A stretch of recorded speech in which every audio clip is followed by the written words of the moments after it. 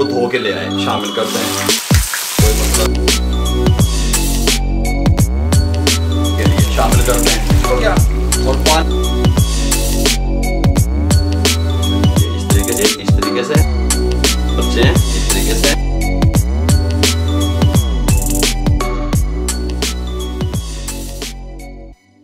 ये नहीं बिस्मिल्लाहिर्रहमानिर्रहीम। अस्सलाम वालेकुम वीवर मैं हूँ शेफ रिजवान। आप देख रहे हैं बाबा फ़ूड आर आर से मैंने आप लोगों से प्रॉमिस किया था वादा किया था कि मैं रेसिपियों को इतना आसान कर दूँगा कि हर बच्चा, हर बंदा, हर घर में खातन बना सकते हैं उसको।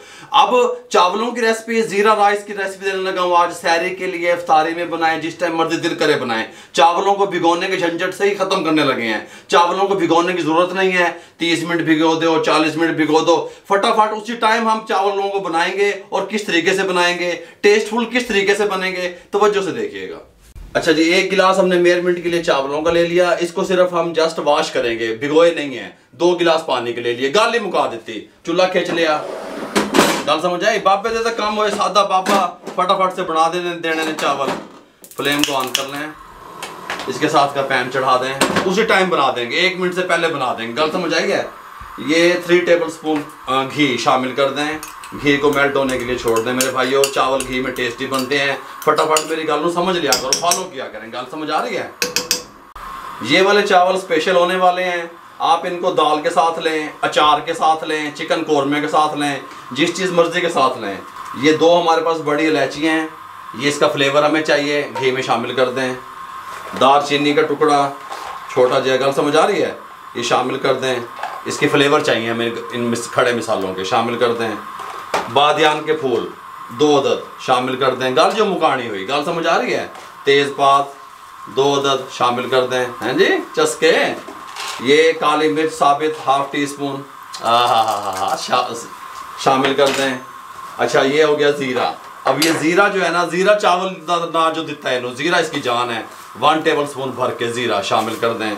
और इसको दो मिनट तक इस तरीके से मीडियम फ्लेम पे हम इसको इस तरीके से रोस्ट कर लें सात मिसालों को, ताकि इनका जो फ्लेवर है वो घी में आ जाए। ठीक हो गया? ये जी दो मिनट के बाद हमने सिर्फ़ चावलों को धो के ले आए। शामिल कर दें। कोई मसला नहीं है। हल्का सा इस तरीके से इनको, चावलों को भी नाम भून लो। देखो, कितना शार्ट तरीके से मैंने आपको बता दिया। मिसालों के साथ चावलों की भी बुनाई कर लें। गल समझ आई है ये एक मिनट हम इसमें भूनेंगे मीडियम फ्लेम पे, उसके बाद आपसे मिलते हैं।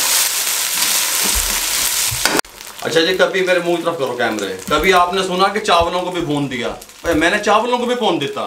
सिर्फ़ आपकी अफ्तारी और सैरी को आसान बनाने के लिए। हम ठहरे हुए मेरे भाइयों। मेरे बल देखो। ये देखें, चावलों की बुनाई होगी एक मिनट, दो गिलास पानी के मेयरमेंट के लिए शामिल कर दें। जो फ्लेम है वो मीडियम है अभी तक, ठीक हो गया? और पानी के साथ ही हम इसके अंदर नमक शामिल करेंगे वन टीस्पून भर के, या अपने टेस्ट के हिसाब से। मीडियम फ्लेम रहेगा, जब बॉयल आना शुरू होगा, उसके बाद हम बताएँगे क्या करना है, इसको बॉयल आने के लिए छोड़ रहे हैं। ये आप अपनी स्क्रीन पे देख सकते हैं, पानी को बॉयल आना शुरू हो गया है मीडियम टू लो फ्लेम कर देंगे फ़ौरन। बॉयल आते ही मीडियम टू लो ठीक हो गया? थोड़ा सा ये आग और पानी का खेल है, अगर आपको समझ आ जाएगा, कमाल हो जाएगा। ऊपर से कवर लगा देंगे, पानी खुश्क होने का इंतज़ार करेंगे। सात मिनट लगे, आठ मिनट लगे, दस मिनट लगे। मीडियम टू लो फ्लेम पे छोड़ दिया हमने इसको। ये लीजिए अलहमदुल्ला आठ मिनट हो गए हैं, आठ मिनट हमने इसको कवर दे के पकाया नॉन स्टिक पैन में। नॉन स्टिक पैन का जो कवर होता है, उसके अंदर यहाँ पे एक होल होता है, वहाँ से स्टीम रिमूव होती रहती है। अगर आपके पास नॉन स्टिक पैन नहीं है तो दूसरी देगची वगैरह या पतीली, कोई भी चीज़ है तो आपने थोड़ा सा कवर को ऐसे रख के पकाना है, ठीक हो गया? हल्का सा ऐसे सरका के, इस तरीके से आपने आठ मिनट के लिए पकाना है। फुल कवर नहीं कर देना इस तरीके से। उसके अंदर गुंजाइश हो हवा निकलने की स्टीम निकलने की, क्योंकि हमने दम पे तो लगा नहीं, लगाया हुआ नहीं है इनको, ठीक हो गया? गल समझ आ रही है? कवर उठा लें। और अगर कैमरा मैन दिखा सके मीडियम टू लो फ्लेम पे हमने इसको आठ मिनट पकाया, ये कंडीशन आ गई। गल समझ आ रही है? ये वाली, है? और ये 85 परसेंट हमारे चावल जो है ना, वो कुक हो चुके हैं। इस टाइम पे आके हमने क्या करना है? अब इसको हम कंप्लीट ऊपर से कवर दे देंगे। कवर लगाने के बाद दम वाले फ्लेम पे इसको 10 मिनट के लिए छोड़ देंगे। अब इसको दम लगाने लगे हैं। दस मिनट के बाद आपको इसकी कंडीशन दिखाते हैं। ये लीजिए अलहमदिल्ला दस मिनट कंप्लीट हो चुके हैं दम को फ्लेम को बंद करने लगे हैं। अब आपको डिश आउट करके दिखाते हैं। ये लीजिए सुबहान अल्लाह सुबहान अल्लाह कमाल। कमाल के लुक कमाल का टेस्ट अलहमदिल्ला ये देखिए इस तरीके से। गल समझ आ रही है? इस टाइम पे आके सब्ज धनिया इसके अंदर हम शामिल करेंगे थोड़ा सा और इसको हम अच्छे से मिक्स कर देंगे। ठीक हो गया? आहा, कल्ला कल्ला चावल है? गल समझ आ रही है? देखो। है जूसी जूसी चावल है। इस बिस्मिल्लाहिर्रहमानिर्रहीम। ये इस तरीके से। सुबहान अल्लाह ये इस तरीके से सुबहान अल्लाह गल समझ आ रही है? ये इस तरीके से सुबहान अल्लाह